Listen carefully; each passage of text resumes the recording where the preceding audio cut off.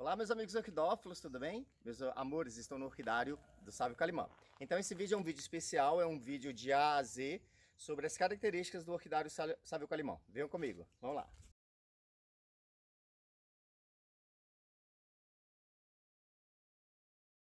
Então, meus amores, estou aqui no orquidário do Sávio Calimã, em venda nova do imigrante Espírito Santo.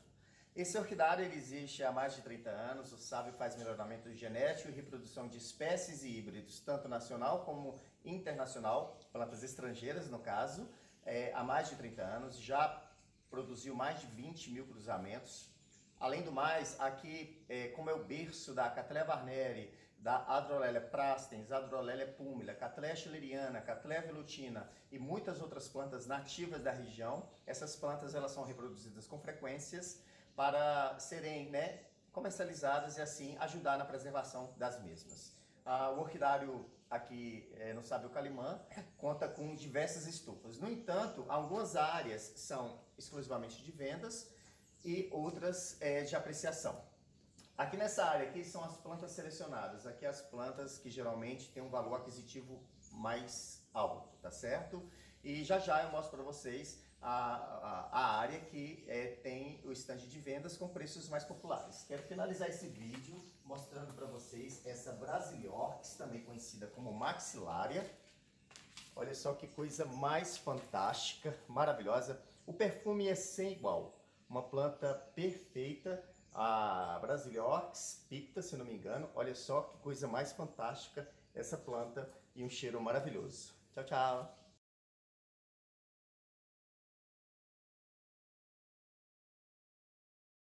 Então, meus amores, aqui no Orquidário Sávio Calimã existem é, dezenas de estufas, milhares de bancadas e milhares de orquídeas. Mas nem todas estão à venda, porque a maioria das orquídeas aqui é um banco genético, né? É um banco de preservação é, do DNA, da genética dessas plantas maravilhosas. Então, desde um simples epidendro até uma catleia né, Varx cervix, é, muitas dessas plantas não estão à venda é, simplesmente porque elas são usadas como um banco genético para futuras reproduções, tá? Então aqui de cara, quando você entrar, você vai ver essas plantas aqui, mostra aqui, vida, né? Todas essas plantinhas, bem-vindo, que, que estão empeduradas aqui, é, é, esses dendroquilos, a, as, os rincostiles, Catleya valquiriana, tá? É, nubilio. Muitas dessas plantas aqui não estão à venda. Essas plantas são para apreciação. Agora eu vou mostrar mais duas bancas que nunca estão à venda, ok? Essa banca central aqui, tá certo? De madeira, é uma, é uma banca de exposição onde você pode apreciar uns, os melhores clones, as melhores plantas, as mais belas, tá? Genéticas maravilhosas. Olha só que coisa fantástica. Catalela ludemaniana, é, Faius Tankerville albo, Pafiopédio, Lusigopétulo, várias, várias plantas, enciclecordígida, mostra aqui vida, coisa mais maravilhosa. Então, todas as plantas que vêm para essa bancada aqui de madeira central, elas não estão à venda, elas são para apreciação. Essa banca aqui também, olha só esse Faios maravilhoso albo também, outro exemplar. Olha só que saúde, mostra o vegetal, vida. Olha que saúde esse vegetal. Lembrando que essa planta ela precisa de é, estar mais protegida do excesso de luminosidade, tá? Para ficar vigorosa assim. Então essas plantas aqui geralmente não estão à venda, tá? Então, aí você entra aqui, o que que está à venda? Todas essas plantas aqui, dessa bancada, que geralmente são colocadas com botões, tá? Todas essas plantas, a partir de 30 reais você consegue comprar alguma coisa aqui, ok? Essa banca aqui, já é um pouco mais cara, que é a mesa de vidro. Mostra a mesa de vidro, uhum. tá? Essas plantas aqui estão à venda com um preço um pouco mais elevado, tá? E desse lado de cá, também nessa grande mesa de vidro, tá? Você vai encontrar plantas de vários preços, né? Os dendroquilos, espécies, variedades, é, esse Phalaenopsis, se não me engano é o gigante, olha que coisa mais maravilhosa, são plantas um pouco mais caras. A Clande albensis, olha só que coisa fantástica, tá certo? E aqui essas plantas aqui tem um preço um pouco diferenciado. Aqui também já volta com preço mais, mais popular, tá? Aqui você consegue achar umas plantas com preço mais interessante, tá bom? Beleza.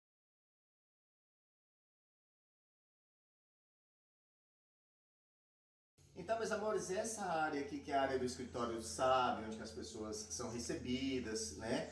Essa área também tem essa bancada aqui de mármore, que todas as plantas estão à venda, tá certo?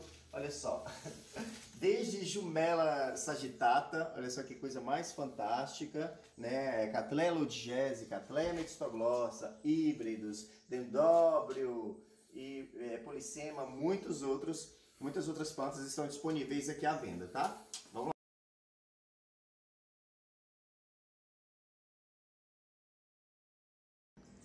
Então, meus amores, essa área aqui, que é a área de trás do escritório, vocês podem observar, mostra ali as bancadas. Todas essas plantas aqui, elas são plantas que têm um valor mais elevado, que é acima de dois mil reais. Então, se você quiser plantas um pouco mais caras, né, como essas Cattleyas Triani é, é, íntegra orlata pincelada, né, plantas de, de maior qualidade técnica, como essa Cattleya valquiriana aqui, que vocês podem observar que tem uma forma fantástica. Então aqui as plantas, se você vier aqui atrás, você já tem que ter consciência que essas plantas elas têm um valor superior a dois mil reais, tá certo? São plantas de coleção. Vejam só essa Cattleya chileriana aqui. Vejam esses botões. Você imagina o que que vai dar nisso daqui? Maravilhoso, né? Então tem que quando você vier aqui você vai ter a consciência de que essas plantas têm um valor mais elevado, né? Então, geralmente quem tem poder aquisitivo maior consegue comprar. Nós, pobres mortais, só apreciar.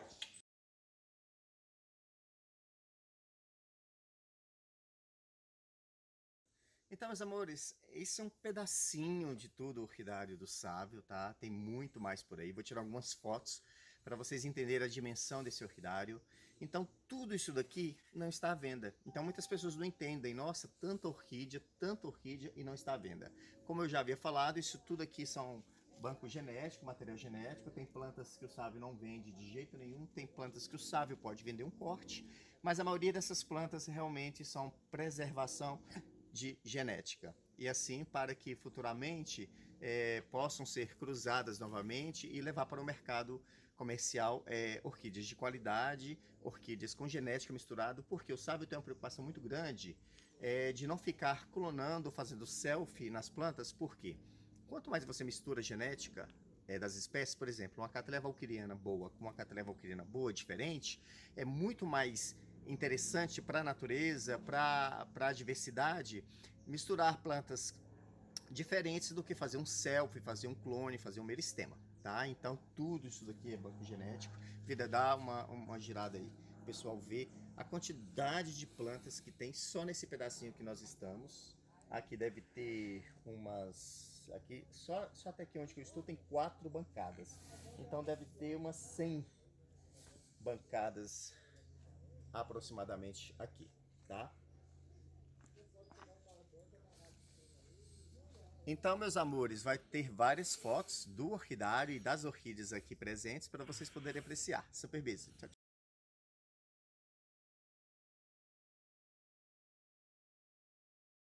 Então, meus amores, essa é uma outra área que é uma área mais antiga, digamos assim, né? É uma área que vocês podem observar que ela é mais light, né? Ela não é tão agromelada de plantas, aquela muvuca que tem nas outras estufas.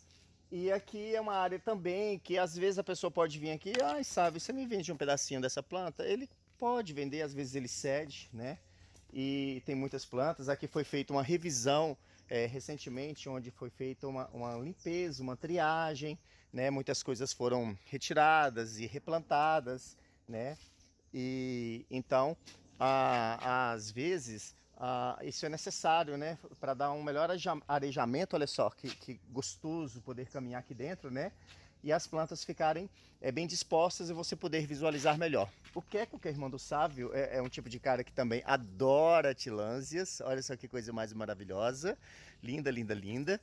E como eu falei né, sobre, sobre a Adrolélia prassens no comecinho do vídeo, é uma planta símbolo aqui, típica, nativa da região, assim como a Adrolélia púmila e são é, é, enfatizando-se a, a sua reprodução para preservar. Aqui a natureza é muito preservada, ao contrário de Minas Gerais e muitos outros estados que desmatam muito com muita frequência. E mas é, aqui tem uma, uma, uma preocupação maior. Eu vou mostrar para vocês aqui tudo, toda essa área gigantesca que pertence à família do, do, do Sávio Calimã, né, do Calimã. Toda essa área aqui, ela é uma área é, imensa, tem, tem iceberg, né, que são montanhas é, cheias de mata atlântica preservada, vou estar mostrando para vocês. E lá é habitat natural da Adrolélia púmila. Inclusive, né, estou com um projeto da reintrodução da Catleia varneri, da Adrolélia púmila e da Catleia schilleriana aqui aos, aos, ao redor. Olha só, toda aquela montanha ali pertence à propriedade do Sávio Calimã. Ali também, depois dessa árvore aqui, tem novamente é, estufas imensas que foram recentemente feitas. Só que da ponte para lá não se recebe visitas, né? porque é, é uma área mais particular, mais é, restrita, né? Porque o que acontece é que, ah, infelizmente, né, existem todo tipo de pessoa. E às vezes você recebe uma pessoa que é de má índole, você não sabe, não tem como julgar, e a pessoa é, danifica uma planta, rouba uma planta, isso traz um prejuízo. Nossa, mas tantas plantas assim, de repente a pessoa rouba uma planta que é rara, que é, é dificilmente reproduzida, é dificilmente vista né, nas coleções e, e aquilo ali vai fazer falta no caso do banco genético. Não exatamente por causa de um exemplar. Ah, não vai fazer falta, faz. Entende? Então, tudo isso aqui é uma questão de preservação, tá? É banco genético, como havia falado para vocês. E todo esse material aqui, ele é bem cuidado, ele é preservado né, para as futuras gerações. Vejam só que maravilha essa estenópia. A galera pode plantar, aqui no caso foi plantado nesse é, ferro, que é um xaxim mais duro, que não, não se decompõe com muita facilidade. E como a planta floresce pelas laterais, né, caso você não coloque no cachipu, você terá floração assim também. Eu estava vendo umas fotos na internet sobre estenópia, é, geralmente ela nasce em cima das rochas, é, em meio à serra pilheira. E as flores ficam no chão, é claro, né? Ficam ali se rastejando, tal, mas também dá em árvores, né? E, e nós cultivamos em cachepô. Amados, olha só que maravilha esse anaqueilo vespa ou Prostechia vespa, se não me engano. Olha só que vaso mais fantástico, coisa mais linda. Então, muitas coisas lindas para vocês, tá? É, é, esse vídeo é mesmo para indicar vocês uma forma melhor de vocês chegarem aqui, saber o que, que é vendido, o que não é vendido, tá certo? Porque isso daqui não é simplesmente um ambiente comercial, isso daqui é um ambiente familiar. Então, é, né, tem que, a gente tem que se adaptar. Se está à venda, está à venda. Se não está à venda, não está à venda, tá bom? Beijo, delícias!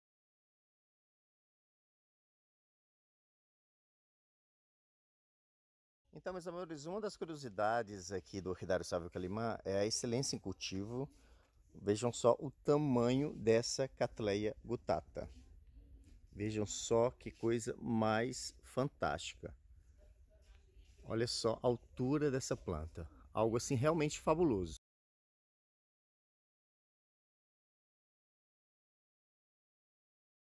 Aqui também um queco, ele é apaixonado com bromeliáceas, né? Como havia falado sobre tilânsia, né? Várias bromélias aqui são cultivadas também.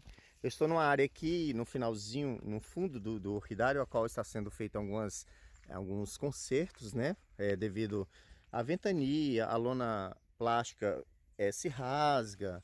Então, realmente, é um orquidário muito grande e precisa